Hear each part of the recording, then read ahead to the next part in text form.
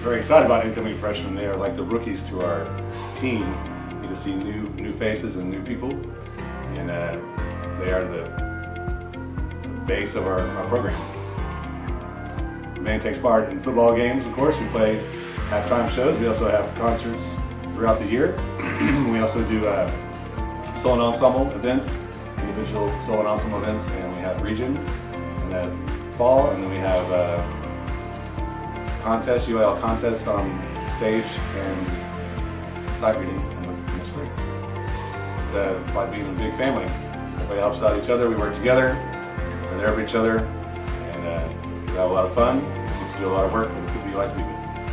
Hi, my name is Adrian Martinez and I play trombone for the Carthage High School Band. Um, I started my sixth grade year with a few close friends of mine and I've really come to enjoy over the years playing my instrument and learning how to get better at it and just progressing as a player. Um, band isn't just simply a place to learn music, it's a place where you're able to be yourself and enjoy the same interests with those others around you as well. So um, band is a great place and opportunity for you to learn music, meet new people, and get to know each other better. Um, I highly recommend some of the uh, 8th graders who are coming down here next year to come join us here at band and to come share the experience with us because again band is a great place to be in and I probably wouldn't pick anything else over it.